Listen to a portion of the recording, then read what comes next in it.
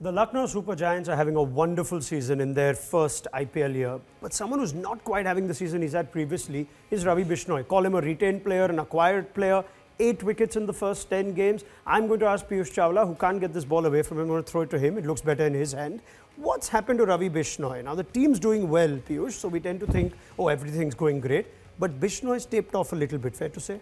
Yeah, we can say that because what we have seen from him in last couple of seasons, what he has done for the teams, he has done a good job. But this year he looked little off color. Mm. So I think uh, he needs to work on a couple of things and I'm sure Mr. Narendra Hirwani is there to help him out because he himself was a great leg spinner and he really helped me also when I was going through that kind of a phase. So I'm sure he must be helping him out with few things. What mm. I have noticed from here, he must have noticed this for sure. Mm. I've looked at the numbers. There's a higher percentage of googlies being bowled and he's bowling a lot quicker. Please make sense of that. Yes, uh, you're correct, uh, absolutely spot on on that point because he bowled so many googlies because of his action. Hmm. Earlier also used to do the same, but at that time people were not picking him up and they were going to play his leg spin also, but he's somebody who doesn't spin leg spin at all.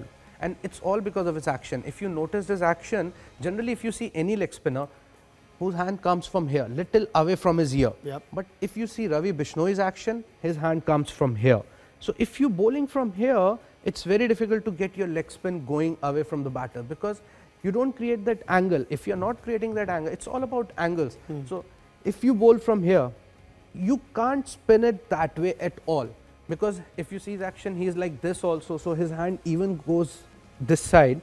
So it becomes a little more difficult. And talking about the pace, earlier he was bowling in mid 90s, hmm. but this season if you see, because he's not had a great season so far, so he's bowling bit quicker because once you have like that bad season, you're not that confident of bowling little slow because you think, okay, if I'll bowl little slow, it's easier for the batter yeah. to get underneath the ball. So he's trying to bowl little quick. So in that case, that's not his strength. So in that case, what he's end up doing is he either he's bowling too full, either he's bowling too short. And because of the pace, their batsmen are utilizing that pace. So that's where I feel he's struggling. Okay, so you tell me again, with your hand up, the release for Bishnoi is?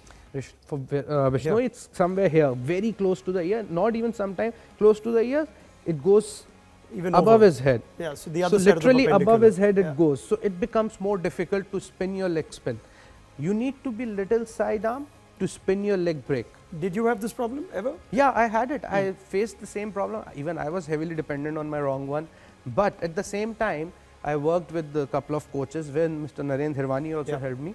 So I got my hand like earlier I was somewhere here, right. very close. So I got it little wider to spin my leg spin. And you don't need to spin every ball. Hmm. You just need to spin those two balls in 10 balls just to show the batsman that yes, I can do that as well. Because if you're not doing that, you become unpredictable. And hmm. that's what we have seen here. He has become predictable. All the right-handed uh, right-handed batsmen are playing him as an off spinner or who can bowl a straighter one like an off spinner. So that's how that's why I feel he's struggling because nobody is trying to hit him through offside now. Yeah. Everyone they're just going and covering the stumps and lining him up through long on, yeah. mid wicket and square leg. And with that pace, the pace which he's comes bowling on. with, mm. it comes on to the bat. These Bombay wickets and like Pune wicket, the red soil makes it, as a batter, you love the pace on the ball even from the spinners because if you're bowling a little quicker, it's not going to spin at all. So is it as simple as, all right, he just needs to change that angle of release or is there some challenge, some something that comes attached to that? Well, it's a big challenge because mm. if you say he just need to change the angle, but this is what he's doing right from the beginning. In junior cricket, in Ranji Trophy, he bowled well. So you can't change that habit overnight. You need to work on that. And I would advise personally that yeah. you don't try and change it in mid season because whatever you are doing right now, you're going to lose that as well. After that, you can work on that because this is not the time because you need hours and hours to do that because as a bowler I am telling you a slight change in the bowling action also can cause lot of difficulty. So here if he goes to try and you know goes and change that it's gonna it's not going to mm. work for him. I've seen I've noticed in few of the games now he tried to bowl leg spin but it didn't uh, it it's didn't spin. Turning it's just going straight. So he needs to get his arm little wider, like somewhere from here. Even if he gets somewhere here, mm -hmm. I'm not even saying like Shane, what the great yeah. Shane Warne or somebody like Rahul Chahar who, legs, uh, who bowls a good leg spin. Somewhere here, it will make a huge difference. Mm. All right, Piyush, thank you very much. So let's see if Ravi Bishnoi makes that adjustment. Unlikely to happen mid-season, but it's good advice for him going forward.